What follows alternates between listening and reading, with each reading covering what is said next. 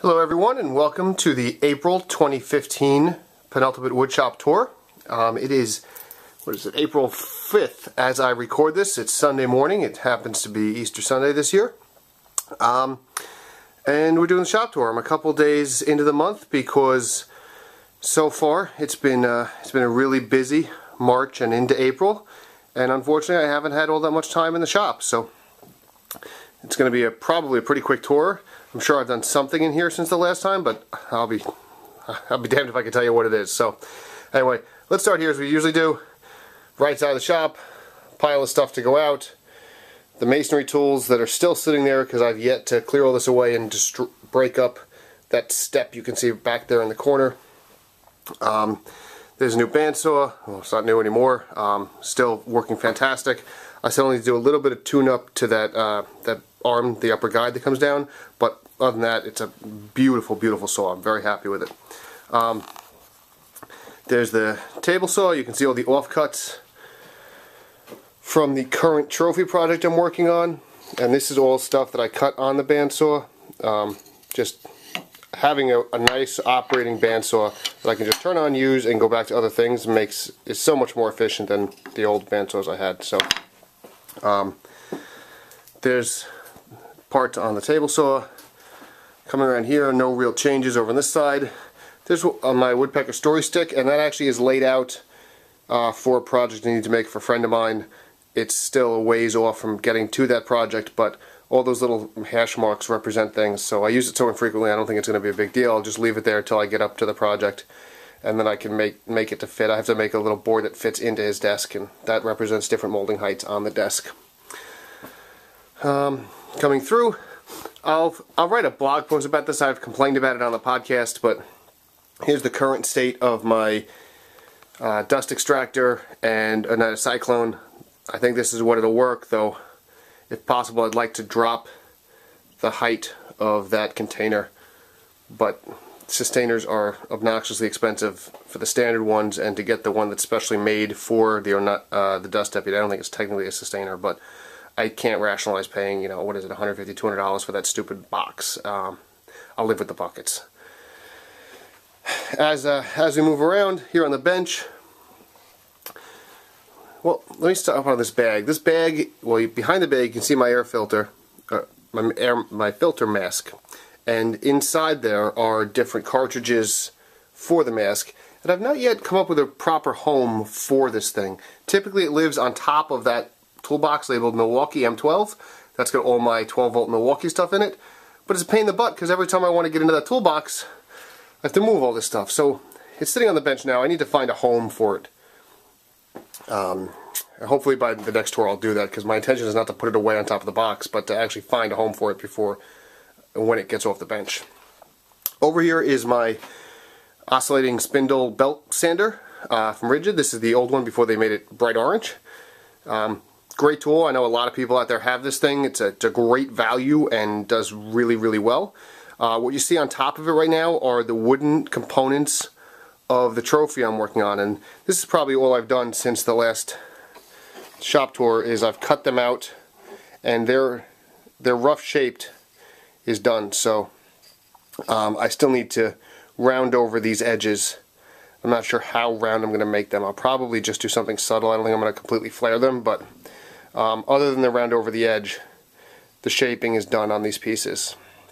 So the next step before I do any round over is actually I need to do, uh, I'll call it joinery for lack of a better term, where the bottles are going to fit in. I need to drill or route out little recess to here to receive the bottom of the three bottles.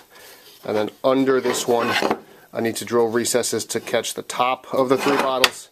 And then further in again catch the bottom. And then under here catch the top. And then on here to catch the mug. Um, here's the mug. So the mug will sit right there. Nice and snug on that and that will end up being the trophy so that's the trophy as it stands Here's a bunch of blades for my angle grinder. Um, I don't know. I have not come to terms. Well, that that's a Kutzall with the random bit. That's the aggressive Kutzall. I have come to terms with that one. But this one, who makes this? Uh, I forget the brand that makes this. Um, there's a lot of them on the market now that make them like this, and even Kutzall has started making them like this. I think this has become the new standard model. And uh, I don't like it. I, I much prefer this tooth random carbide tooth pattern. And I think I prefer the flat disc rather than donut disc, but I can get this in both shapes. Um, so maybe it's the donut shape that I don't like here rather than the, the spikiness, but it's pretty good at removal, but it leaves a surface that's so coarse, and this is also pretty good at removal, but leaves a surface that's much more finished. So I, for the slightly added benefit of removal here, I think the reduced cleanup here wins, but I'll play with them both some more. Um, in the upcoming chair project, I should have time to play with both of them. And then over here, this is the one that sees the most. This is my standard Kutzall in the medium um, grit. Same thing. And here's my turbo plane, which it's another one that I've not quite come to terms with. I think that ultimately this is going to be a time saver. It leaves a very smooth finish, um, but I've not got enough time behind it to really come to terms. I learned how to do it on this wheel, and this is really what I'm most comfortable with. And at some point, I don't necessarily feel like it needs to be improved, but um, the turbo plane is is wonderfully fast. So I'll certainly give the turbo plane a bit more time before I decide whether or not I'm going to use it.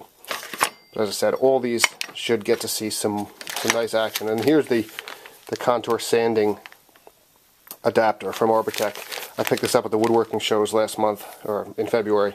Haven't had a chance to use this yet, but anyway, those are all the bits and accessories that go with the grinder. I had the grinders out for work and didn't need any of that. Um, not too much going on over here. The joiner and miter saw are all the same. Here is a frame I made in February and uh, for family reasons it's not getting the artwork it was going to get so I need to come up, now that I've got the frame completely made to fit a, a specific piece of artwork I need to come up with what I'm going to put in it but um, I've got that frame kind of in my pocket ready to go Here's the dust collection underneath the miter saw. Main dust collection, I'm quite pleased with both of them. I'd love to figure out a way to reduce the footprint of the dust collection under the miter saw, but it does tuck underneath the miter saw. It's completely out of the way. It's completely automated. With that little vacuum switch over there, you can see behind the joiner, it kicks itself on and off with the miter saw, so I'm probably just going to leave well enough alone. Um, I could go with a smaller shop vac, but I, I wanted the bigger motor. It's probably complete overkill since it's only ever sucking from one thing, but uh, that said, it does a very good job, so I'm quite pleased with the dust collection. See, it's not perfect. None of them are perfect. Um, but this is many, many uses, and there's no surface that you can't see. That's pretty well coated, but that's completely behind the saw. Most of it does go up into here. And what you see there is the, the original shroud from Bosch ended about up where my fingernail is. So when I first got the saw, I extended it with blue tape, and I put a bunch of different boards on here, ran the blade back and forth, and I kept cutting it back until it worked. So it's now roughly a quarter to a half inch bigger than it was from the factory. Um, seems to do a fine job. And uh, that's about it. We got the planer over here. I need to do a little bit of tune-up on this because the this front bed is not quite coplanar with the center section. The back is at least smooth along this edge. Um, I'm not even sure if it's coplanar or not. I was thinking of maybe making a sled or a false bottom, I guess, that would hook here and slide through the whole thing and make it out of melamine and be able to wax and everything. But I know it, I know it's got the you can't quite see it now because it's closed, but it's got rollers underneath there on the bottom, and they stick up slightly proud of this surface. And I know that's how it's supposed to be. I've been meaning to call into one of the one of the other woodworking podcasts that actually knows what they're talking about, unlike ourselves, and see what the purpose of the rollers is. I mean, fundamentally, yes, it's to reduce friction. I get that part, and I guess they have to be higher than the table to reduce friction so that it catches on them. But it seems to me that if they are higher than the table, how can you not get Skype and uh, Skype? No, Snipe. You're not going to make uh, VoIP calls. You're going to get Snipe.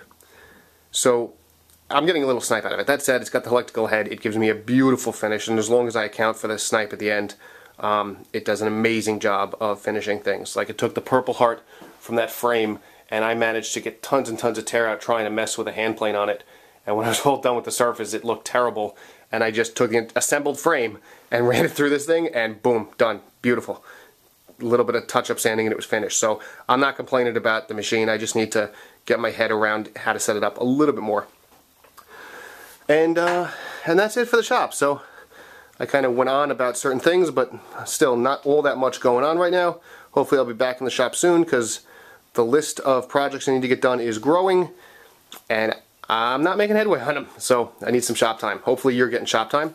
I'll talk to you soon.